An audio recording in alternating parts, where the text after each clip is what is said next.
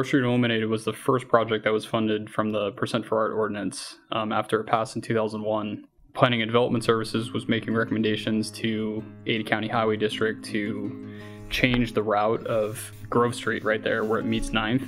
Grove Street kind of cut in a straight line right up to where the one City Center Plaza building is right now. It made a really tough intersection there between Grove and they had discontinued travel through where the Grove Plaza is now.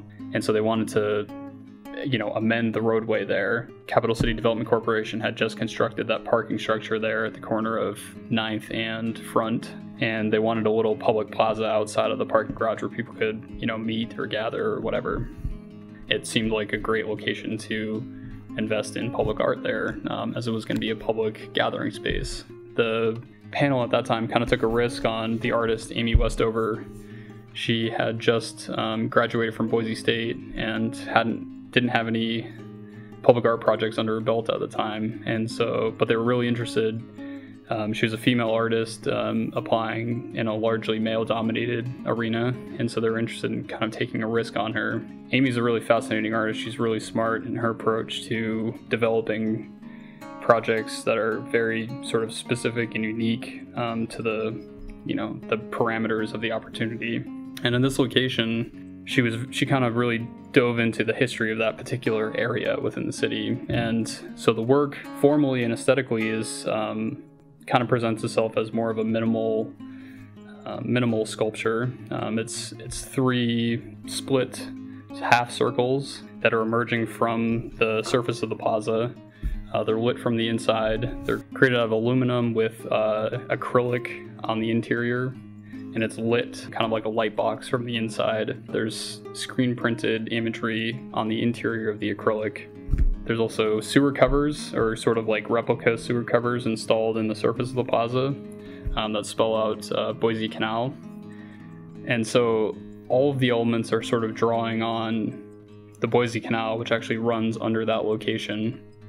Um, it's it was uh, sent underground, you know, as the city developed around it, and so she wanted to pull attention to that major resource that we have here is the water, and the Boise Canal is one of the first canals that was diverted from uh, the Boise River, and uh, so that's one component of it. And the other is the history of Grove Street, and so on the interior of each of those um, sort of half circles, there's ephemera and historic images of the sort of development of that that neighborhood along Grove Street.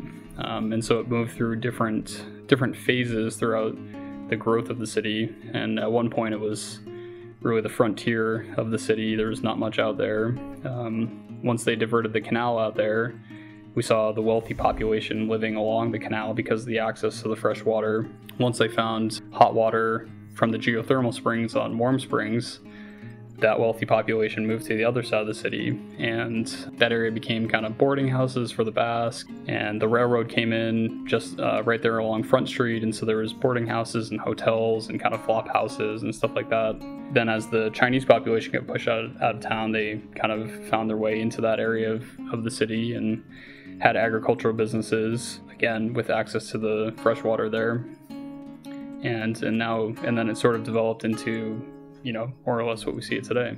The work there really fits nicely into that setting, and uh, it's interesting to see that you know people will elect to walk sort of straight through the sculpture as opposed to around it in various in various ways. Um, I think it really is successful on both a, uh, from a you know driving by in a vehicle, it it presents itself as a an interesting sculptural form, um, but as a pedestrian, it you get that extra level of detail, and it, it's really rewarding to walk up to it and engage with it as a pedestrian.